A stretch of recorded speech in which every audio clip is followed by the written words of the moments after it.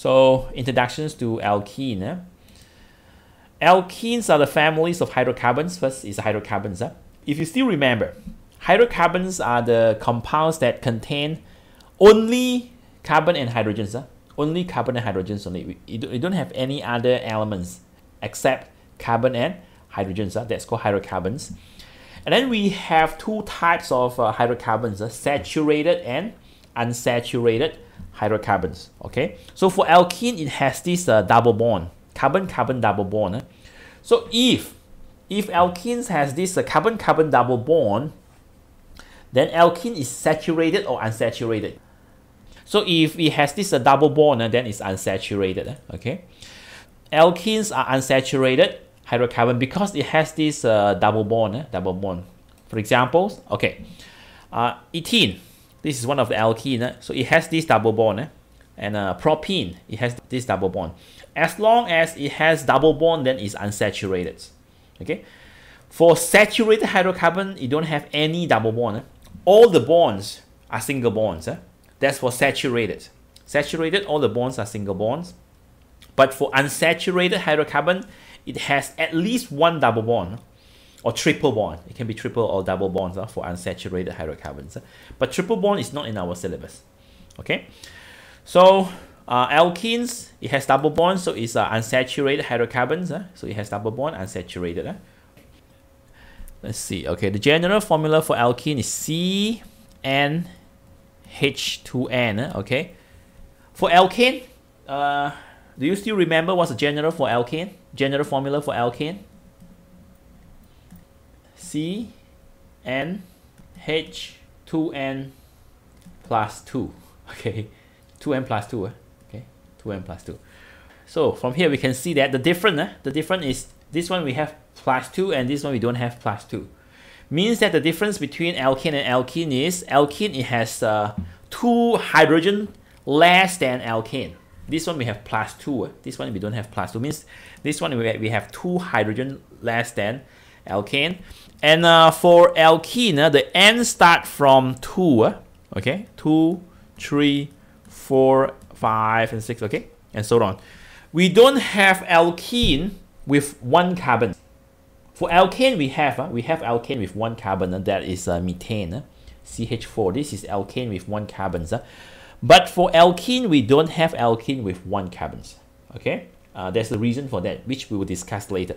Okay, so n uh, start from two, uh, two, three, four. Okay, so uh, let's say we have this uh, alkene with two carbons, uh, n equal to two. Uh, n equal to two, then the formula will be C2H4, right? Okay, two multiplied by two. Uh, 2 multiplied by 2 we have 4 uh, so n equal to 2 and this 2 times 2 4 okay when n equal to 3, formula for alkene when n equal to 3, C3H6, that's good, very good, okay, C3H6, okay, and then so when n equal to 4, then it's a C4H8, uh, when n equal to 5, then we have this a C5H10, and so on, uh, so on, okay, so that's a general formula for alkene, uh, CN, H2N, the general formula for alkene, okay. How about the functional group? Eh? The functional group. Now the functional group of alkene is this, the double bond. Eh? So the functional group is the double bond. Eh? Um, but what is the functional group? Functional group eh, is a group of atoms that bonds together, that ties together by this bond, eh, okay, which it will take part in the chemical reactions. Okay, means that if there is a chemical reactions occurs, the chemical reactions will occur here. This is the place where the chemical reactions occurs. Okay, so that's the functional group. Eh? Functional group is a group of atoms uh, that will take part in the chemical reactions. Okay, and the functional group of alkene is this. Eh? So it means that when there's a chemical reactions occurs to alkene, the chemical reactions will occur here. Okay, not other place. Okay, just here. Okay, that's the functional group. Eh? And you must remember or memorize uh, the general formula and the functional group of alkene. Okay. Chemical properties. Uh, this is a summaries of the chemical properties. Uh.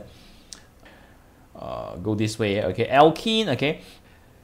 The first two. Uh, okay. The the chemical uh, above this alkene. Is the chemical that we use to prepare alkene. Okay, yeah, this is to prepare alkene. Eh? So uh, we use alkane to prepare alkene eh? through a chemical reactions called the cracking. So the crackings of alkane, then uh, we will get alkene. Okay, or um, we can prepare alkene from alcohol. Okay, there's a wrong spelling here. Uh, we don't have this H. Eh? Okay, so alcohol, uh, uh, we can use alcohol to prepare alkene, and that uh, and the reaction is called dehydrations. Eh? Dehydrations. Hydrates or hydro means water. D means remove. Eh? Remove. So remove water from alcohol. So dehydration is a process to remove water from alcohol. Eh? Okay, and then we get alkene. So that is how we prepare alkene. Okay, how we prepare alkene. Eh? Crackings of alkane and uh, dehydrations of alcohol. Okay. Uh, just now from the mind map, we already see that um, alkene undergoes three chemical reactions, uh, combustions, additions, and polymerizations. Okay, polymerizations. And um, combustions, we have complete combustions and incomplete combustions. Uh. We will discuss that uh, later. And then we have these uh, additions reactions of alkene. Okay, additions reactions um, means we add something into the alkene. Eh?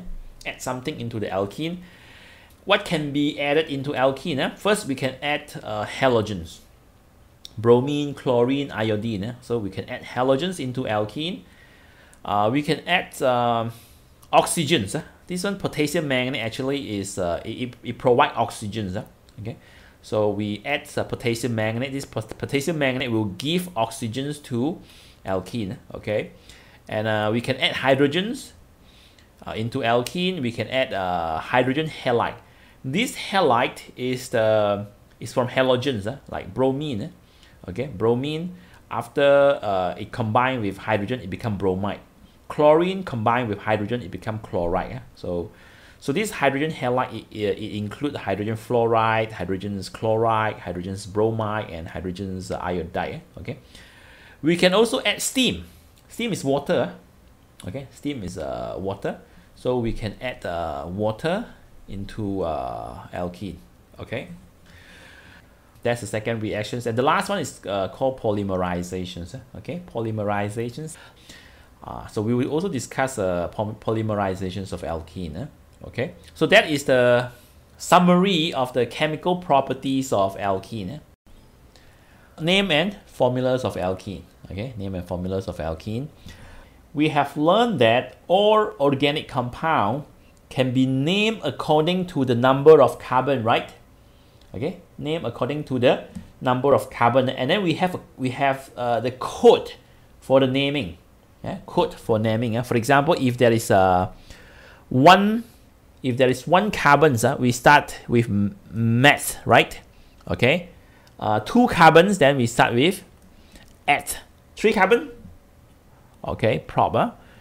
Four carbon, put okay five carbon now from five and onwards uh, five and onward actually is uh, similar to the name of this uh, the polygon uh, okay polygon. For example uh, polygon that have five sides uh, we call it pentagon right?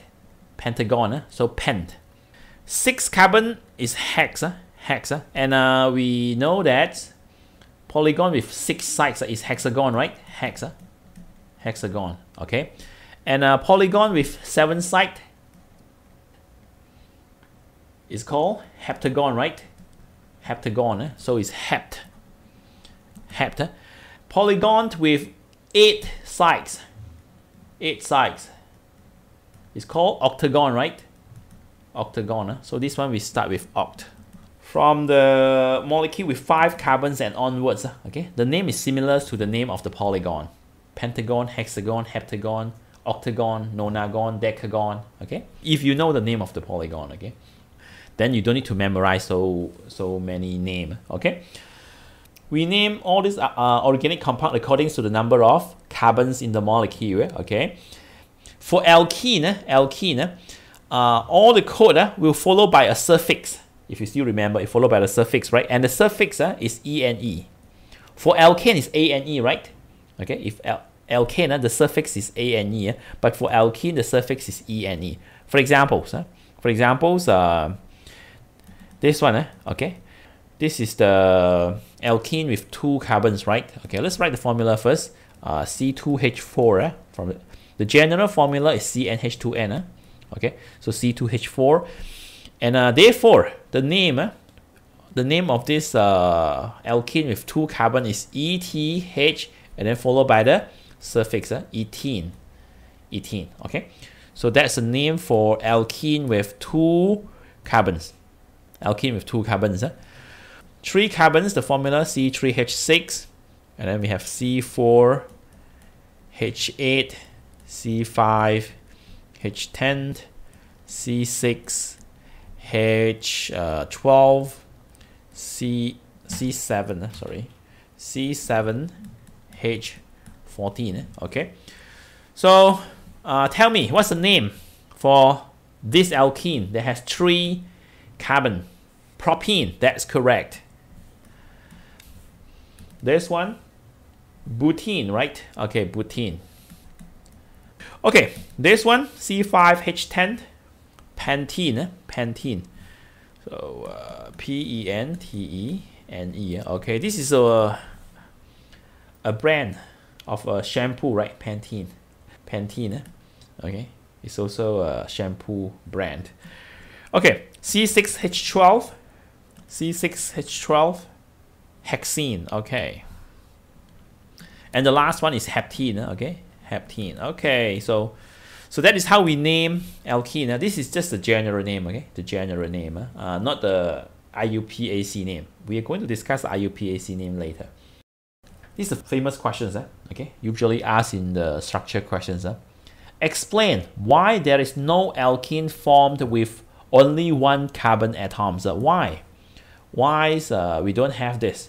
C, uh, C1H2, C1H2, methene, methene, uh, we don't have methene, okay? So why, uh, why, why don't we have methene, okay? Why? Because uh, alkenes are unsaturated hydrocarbon uh, and it has this uh, functional group, the double bond, double bond. Eh? And to form the double bond, we need at least two carbon. Okay, we need at least two carbon to form the double bond. Eh? Okay, because the double bond cannot form between hydrogens and carbon. Okay, it must be carbons to another carbons at the double bond. So we need at least two carbons to form the double bond. Eh? Okay, uh, so that's why we, we can't have alkene that have one only one carbons. Okay, Okay, so the reason is because there must be at least two carbon atoms to form the double bond between the atoms. There must be at least two carbon atoms to form the double bond between the atoms. Eh?